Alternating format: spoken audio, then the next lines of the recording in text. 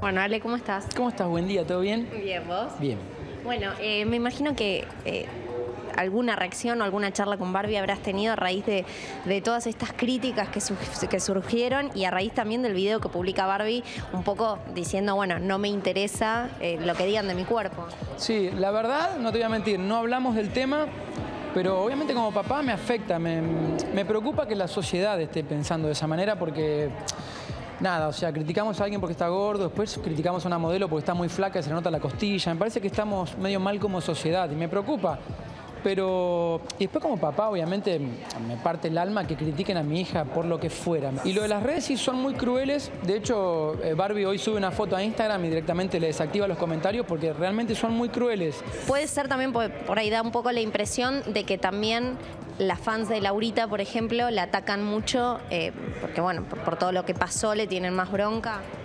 Puede ser. La gente es dueña de hacer lo que quiera. Puede ser, sí, que, que hay gente Una que... cosa como de fandom, digo. Sí, tal cual, eh, que cada fan tiene su ídolo y, y defiende a capa y espada al suyo. Pasa que ya está como curtida de las críticas. O sea, ya es todo el tiempo crítica por todo.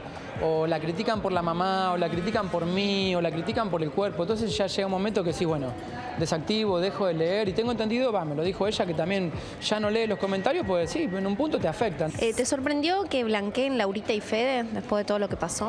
No, para nada, en absoluto.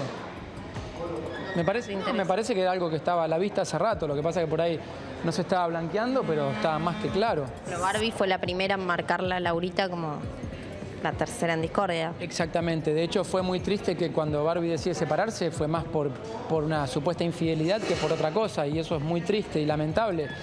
Pero sí, yo creo en mi hija y para mí ya de ese momento ellos están juntos. ¿Cómo la ves hoy a Barbie?